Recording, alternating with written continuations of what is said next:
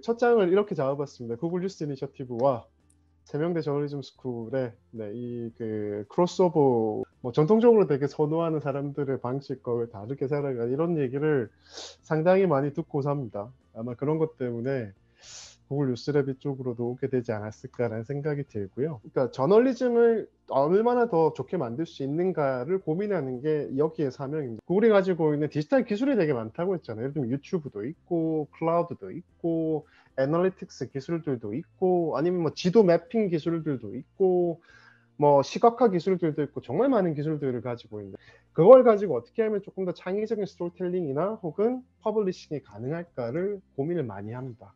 저널리즘은 정의가 잘 안 되는데 파생하는 의미로서의 저널리즘은 되게 발전했다라고 얘기를 해요. 뭐 예를 들면 소셜 저널리즘, 데이터 저널리즘, 비디오 저널리즘, 오디오 저널리즘, 저널리즘 앞에 수식어들은 계속 커 나가는 말 그대로 저널리즘의 포맷이나 기능적 확장에 저희가 되게 많이 많이 매달리고 있었다. 여러분들이 저널리즘을 쉽게 정의하실 수 없다라고 해도 저널리즘을 정의하시려는 노력을 하셔야 됩니다. 왜냐하면 그게 여러분들이 하고자 하는 바이거든요. 디지털 저널리즘이 코로나로 인해서 더 큰 가속 페달을 밟고 있고 디지털 저널리즘은 이제 코로나를 통해서 반드시 더 나은 무언가가 되어야 하는 커다란 숙제 앞에 직면해 있습니다. 독자 분석 데이터와 insight가 필요하다. 우리는 이제 독자를 분석해야 된다. 이 사람들을 분석해서 거기서 우리는 insight를 얻어야 된다. 이걸 해야 된다. 왜? 우리는 디지털 구독을 해야 되니까.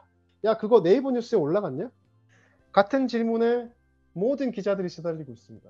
이 질문은 대단히 문제가 많습니다. 왜냐하면 이 지표들은 양적 지표이고 많은 기자들이 컨텐츠를 만드는 게 결국 트래픽을 벌기 위한 활동으로 환원되고 돈을 벌기 위한 활동으로 환원돼요.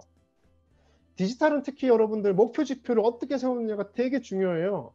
여러분들이 목표 지표를 이런 식으로 바꾸지 않으시면 혹시 담비뉴스 사이트에 월 15회 이상 방문한 사람이 몇 명인지 아시는 분?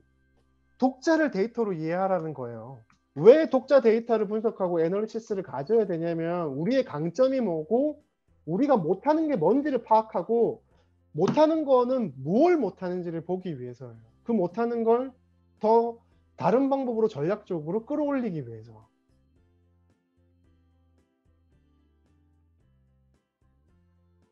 오늘 강의 마치겠습니다. 고맙습니다.